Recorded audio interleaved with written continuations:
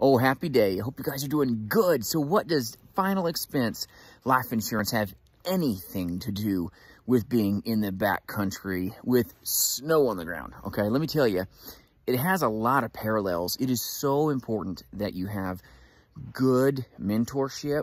You got people that have been in the back country before so that you actually know what to expect, so that you're geared up, okay? If you're out in the country like I am, there's no 911, okay? There is no cell service. There's no nothing. So unless you are equipped properly, know what you're doing and have a good compass, okay? Just like in final expense insurance, it's so important that you have true north, that you have proven paths so you know, okay, from when you step into the sale, you know how to make it out, okay? Just like when you step in the woods, it's important that you understand how to make it out of the woods safely. You've got to have proven paths. You've got to have the ability to navigate, okay? It's important that when you step into the woods, you can get twisted around quick. Isn't that the same way on a, a final expense insurance call? Or if you're in a face-to-face -face space and the client starts rambling in a big way and you don't know how to harness it in properly, okay? So you, you don't know how to like get back to the path, okay?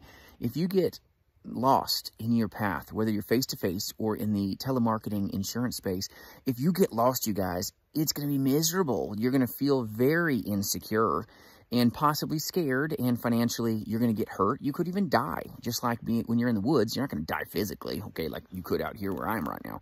But you will potentially die financially. You sunk all this money to leads and you got no results. It hurts. It's painful.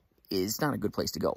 So when you're in the insurance space, it is important that you are geared up properly. You have the right leads to call. If you're doing direct mail, that you have the right analytics so that you don't lose money. There's nothing worse than dropping a couple thousand piece mailings and getting like no returns. It's horrible, you guys. It's just like stepping into the woods and you forgot to bring your tent. You forgot to bring your stove. You forgot to bring enough food, okay?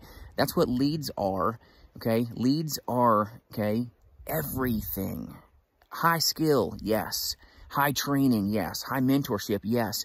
But if you're the most trained person on the planet, but you don't have leads, goodness, you're not going to get anywhere good, right? It's just like anything. You got to be prepared, but then you got to go and do the effort. You've got to be prepared to do it, but make sure you're doing it safely, wisely, and smart, okay? Make sure that you understand if you get into the telespace, make sure you understand how to handle the call, how to start the call, finish the call, and finish it in a way that gets you the desired result. Now, I'm out in the back country, okay, dropping a video, so I got to be quiet here in a second and get back after it. But I hope you guys are doing well. Keep taking care of good people, but don't get stuck in the woods. Make sure that you've got a proven path to run on. You've got a good compass, okay? Just like I won't step in the woods without a GPS as well as a compass, but I don't trust my GPS. That battery dies, you're in trouble old school ways, old school ways will take care of you time and time again. You're in a time-tested, noble profession. Many, many people have done this before you with way less technology. Don't get stuck on the newfangled GPSs, the newfangled ways, CRMs, etc. Not that there's not value, you guys. There is value to it, okay? But don't rely on it because the moment that your batteries die on your GPS, you're now in trouble, okay? You could die out in the woods.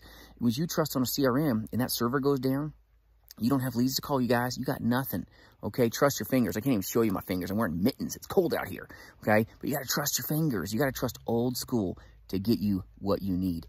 Do well. Practice old school methods. You'll get what you need. JasonFinalExpense.com. I hope this serves you well and helps you. But trust old methods. They'll never hurt you. Have a good one, you guys. Stay warm. Enjoy your warm running water.